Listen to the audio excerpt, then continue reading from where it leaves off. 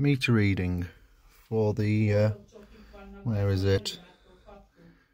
Liberty 100 smart meter. So what we got to do is press 9. I'm looking for export kilowatts to see how many kilowatts the solar panel.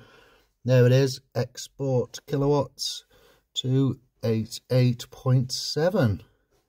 It goes through the various menus. All I did was press button 9 and it will go through and give you readings. X kilowatt something. Didn't get a chance to read that. So I'm recording it all for YouTube so you know how to interrogate the Liberty 100 smart meters. If you're in the south, I do believe they're connected on a mobile cellular network. And I think if you're up north, don't ask me how far up, but do your research.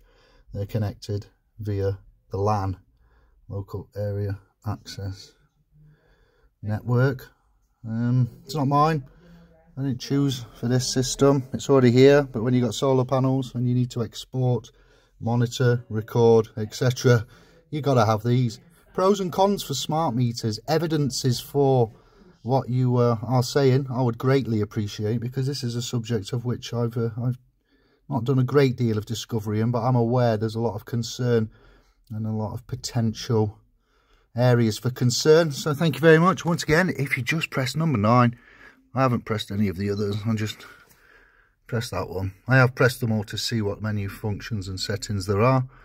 And uh, there you go. Bobby Dazzler. Liberty 100 Export for power.